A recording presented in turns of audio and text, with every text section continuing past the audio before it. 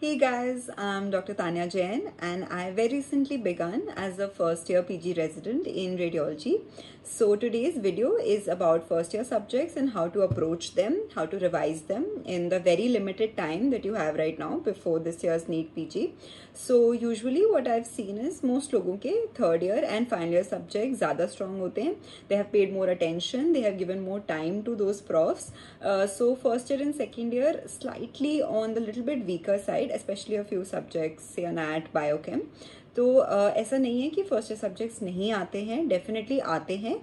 Overall weightage if you compare with final year is a little bit less but we can't leave any subject NEET PG में this is an important rule कोई subject छोड़ के नहीं जाना है। It's a very holistic paper सब जगहों से आएँगे question so we will see the general consensus की कितने अप्रोक्सीमेटली क्वेश्चन आते हैं। Sometimes a particular basic science subject can have more weightage sometimes it may not but generally uh, there are about 30 questions overall that will uh, might come from first year so we have to do them nevertheless and uh, most people find it difficult to revise but first year subjects करके जाने हैं basic fact करके जाने हैं ठीक है so uh, another starting with a very general thing not just specific for first year subjects but for all subjects in general if you're thinking right now what to do PYQ as in previous year questions versus notes do PYQs PYQs versus TNDs again although tnds are very important very effective source of revision agar pyqs kare hain even till now or you're not thorough with them then definitely pyqs first priority. In general pyq versus anything previous year questions first and foremost. So if any subject that you're especially weak at and you haven't touched upon previous year subjects that is previous 3 years is sufficient पहले वो करने उसके बाद anything else about that particular subject now starting with anatomy which I feel is the most dreaded subject of all times at least in my opinion so it fetches you about nine to ten question which is quite decent and my main notes वो from doctor Ashwini D B M C I as well as from DAMS so, it was a mix between the two. Uh, but for the last minute revision, I really recommend Dr. Ashwini's TND uh, if you have done. So, you can revise it like I revised it even one day before actually going to the exam because it was a difficult subject it's volatile and the good thing about the tnd that is it has a lot of uh, dissection specimens and is very visual and पहले इतने questions नहीं आते थे इतने dissection specimens were more restricted to INICT आजकल NEET PG में भी आते हैं so uh, it's a good uh, revision tool at the last minute नहीं तो इवन डीबीएमसी का डीबीएमसीआई का vibe if you have done the anatomy part also is like a short version of the T N D so you can go with that as well other than that histo so one question does come from histo so it's a hit और miss if your histo is good पहले से from first year you're a lucky person and you can get this question but at this point it's up to you how much effort you want to put into histo. I didn't put as much uh, effort into histo. I only did the basic things so you can do that. Again uh, uh, dbmci ke vibe mein hai. There's a histo section. Even the tnd has 4 5 at least 4 5 histo that is uh, revised. And do that or not. It's up to you. A question but definitely aega hi aega from histo. Uh, now in anatomy i want to emphasize that everything which is jo hum karte the na that was applied or clinical anatomy becomes very very important. So nerve injuries is one such topic which is covered from anatomy and ortho both. And I, when i mean nerve injuries i don't just mean upper limbs. Of course upper limbs are very important. Upper limb injuries do come. Uh, also do cranial nerves and uh, you know injuries with their specific features like what will be the sensory loss uh, if that particular nerve is injured what will be the functionality loss everything about nerve injuries you have to have to cover. Similar to that again dermatomes heavily tested once again. And brainstem syndromes is something which is again integrated with uh, physio integrated with medicine. So if you have done it from there well and good and uh, in in general uh, as weightage comes upper limb has a huge weightage.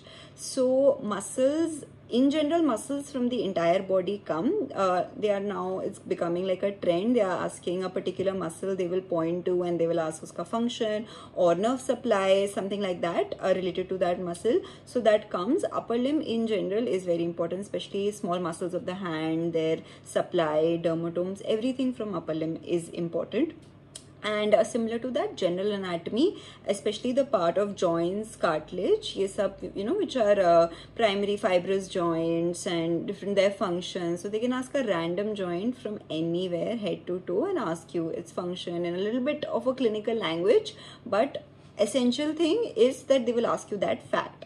Anatomy they will try to make it a clinical question but at the end of the day you have to remember that fact and you will be able to do that question another thing that is tested every year is something about the arterial tree. So they will ask कहीं का भी कोई भी artery का which branches it can give which branch it has originated from something like that so some year it can be about coronary arteries sometimes it can be about circle of Willis you know sometimes it can be about the celiac trunk so it's a very good idea to revise the arterial trunk one day prior if you have difficulty in that or in general before going for the exam ये करके ही जाना. Even पुराने हमारे B D C के there to be this big chart that also you can do or if you have you know some other source just revise arteries once before going.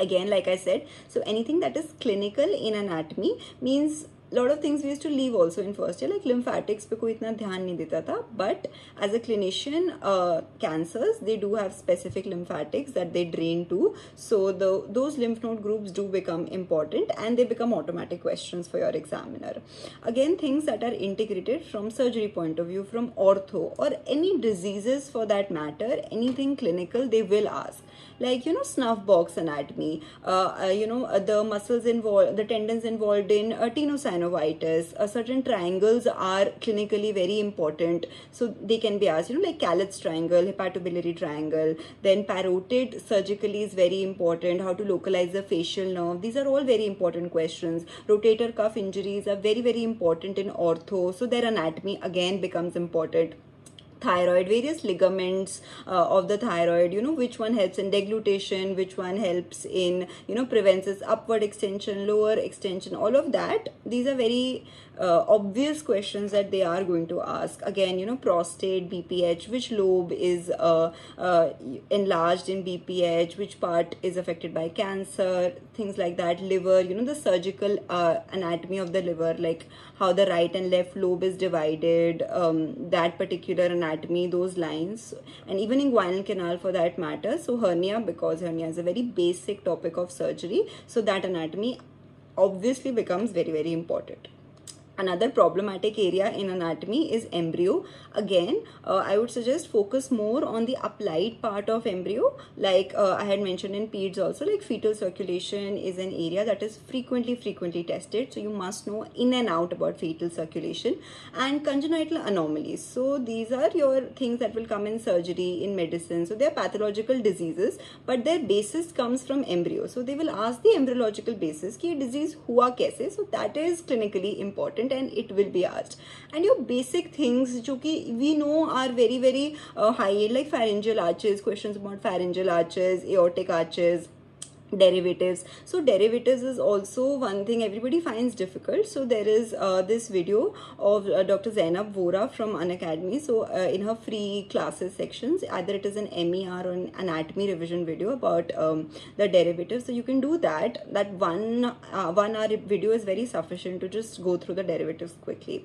Usually the question is not very tough but they do ask.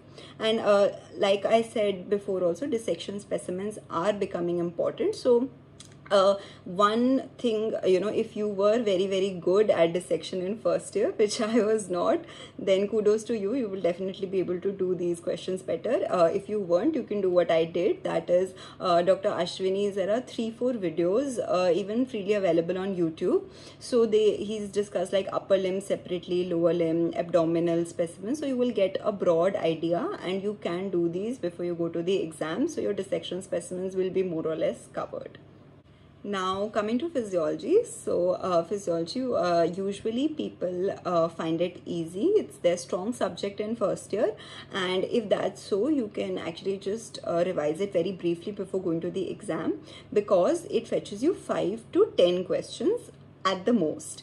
Why I'm saying 5 initially is because core physiology might only have 5 to 6 questions and the other ones are integrated. So many a times it goes in the purview of medicine or path or some other subject but remember physiology questions are usually they're easy they're conceptual and again yes they're integrated. Especially especially things like you know your cns your brainstem syndromes your spinal cord syndromes and everything. So if you've covered them in medicine you you may not necessarily want to cover them from physio as well because it's about to be the it's got to be the same thing.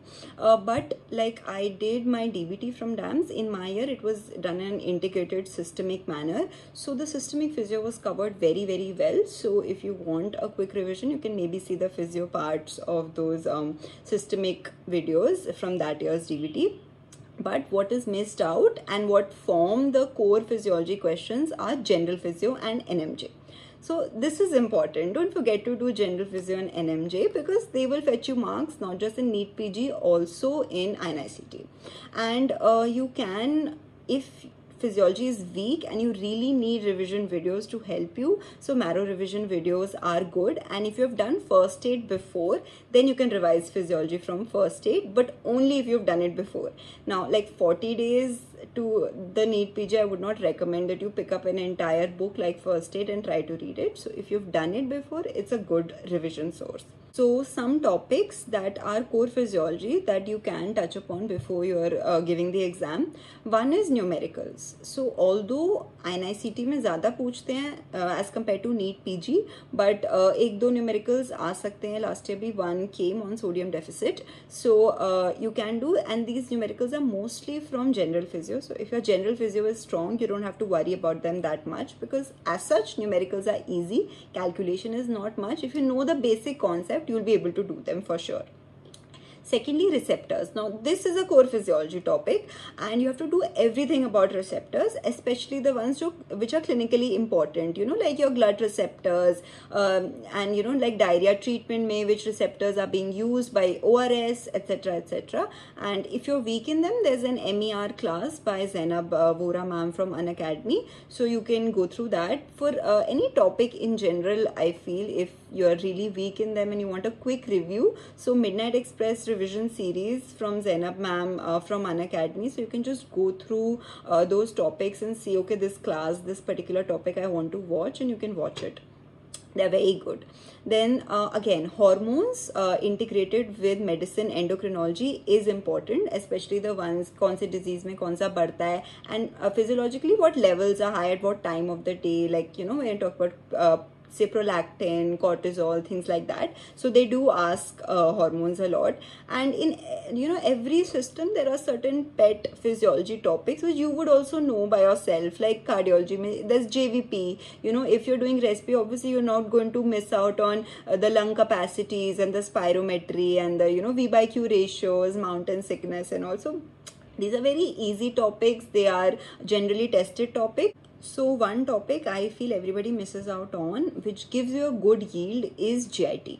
So GIT hardly it will be 10 pages 15 pages in your notes that's it but we tend to skip it and उसमें से सबसे ज़्यादा questions आते हैं. So reflexes are tested hormones of GIT are tested. Uh, in fact, you know, like if you uh, clinical questions like when you will do an ileal resection, what will be the deficiency, what will be the symptoms of the patient, etc. So ये सब पूछते हैं again renal cns cvs in sub may we all know there are some pet peeve questions and a jg apparatus will come in renal uh, afferent arteriolar efferent arterial. Yes like any here any part of systemic physiology will be tested. So if you can do that along with your medicine revision it will be good and you will save time lastly coming to biochem uh, so biochem is a minimum like corresponding to 15 questions. So last year in fact 16 to 17 questions came but definitely 12 questions or above will come in biochem. So out of all three subjects if your biochem is weak do work on that in this last time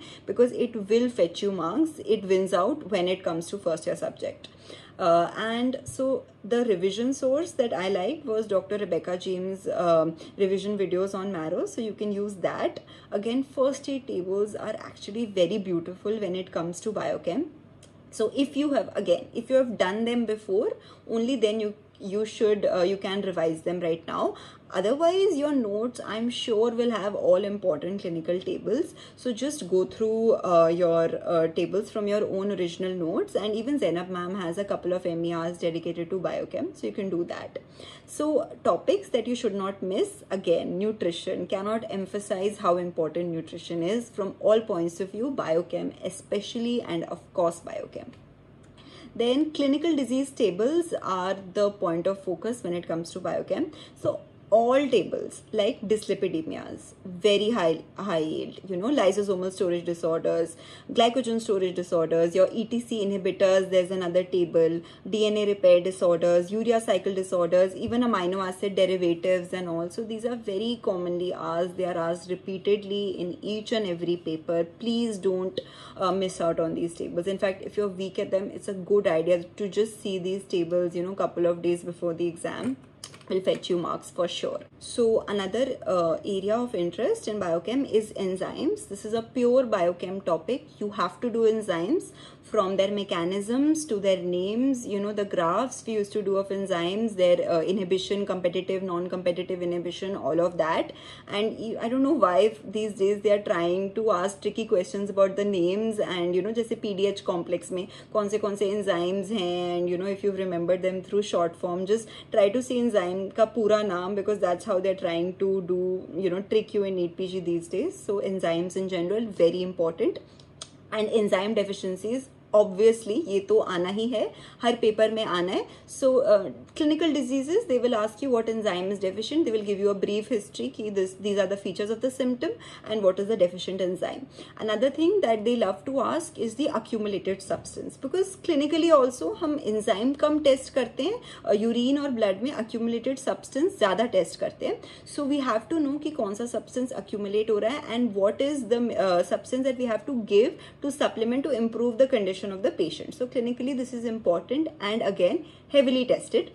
So you have to do this for all diseases. You should know and another area that uh, they love to ask is fasting almost every year they will ask questions on fasting means कब glycogenolysis कब तक active होता है कब तक hepatic glycogenolysis होता है ketone body synthesis कब कैसे start होता है how do you integrate it with the TCA cycle uh, you know what enzymes are working uh, when so your well fed state starving state everything about fasting you have to know and of course when you're talking about fasting everything about insulin you have to have to know so definitely do this before your exam. Then another area is genetics. So genetics is again more for INICET which asks you a lot of updates about genetics, certain new things, PCR, this and that. Little less for NEET PG but your basics of genetics still do come. So not as much importance as METAB but it will come. It might come, one or two questions might come from genetics.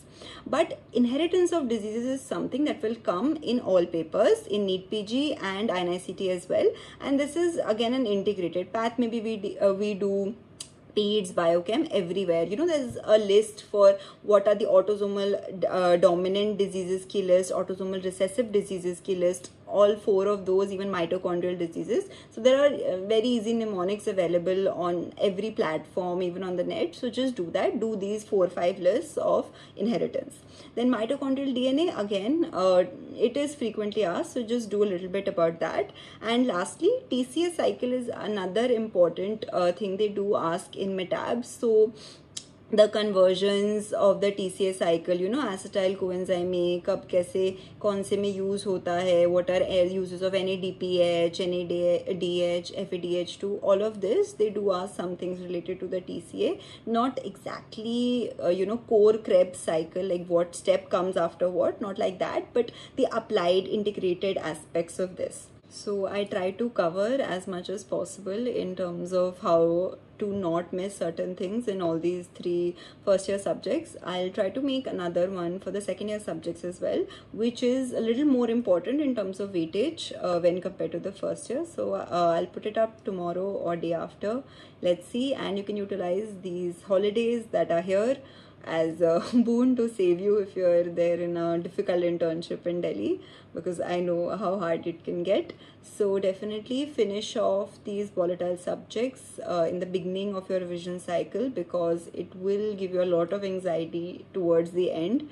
And you will get like a anatomy revise karu ya medicine you know what will fetch me more marks. So don't uh, end up in that situation and try to finish basic sciences earlier on so hopefully you're here till the end of this video and it helped you out. All the very best for your exams. Bye bye